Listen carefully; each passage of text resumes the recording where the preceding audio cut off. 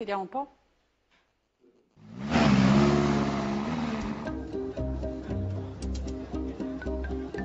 Che cosa lei ha comprato? Borse, scarpe, ho fatto di tutto. Che budget si è data oggi? Il mio è sempre illimitato, però oggi ho risparmiato. Lei viene spesso qui in Monte Napoleone a fare compere? Sì. Il capo per cui spende di più? In primis scarpe e borse. Oggi ha una borsa firmata? Sì, Quanto costa questa borsa? credo 2002-2003, non mi ricordo più, 2003.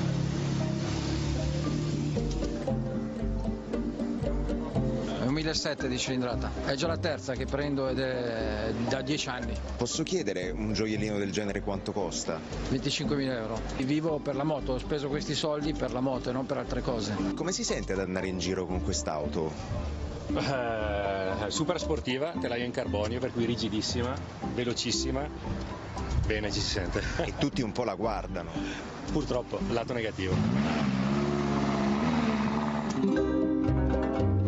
Quali sono le cose per le quali spende di più? Eh, Sono abituato bene nei quadri perché amo l'arte e poi dopo anche ovviamente l'abbigliamento, la macchina, insomma.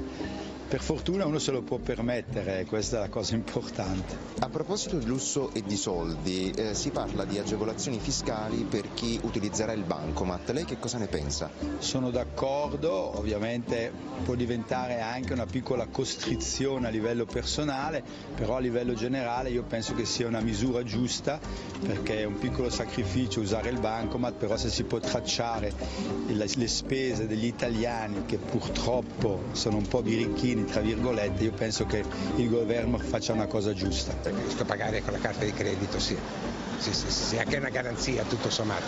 ci saranno davvero queste detrazioni fiscali, ben venga.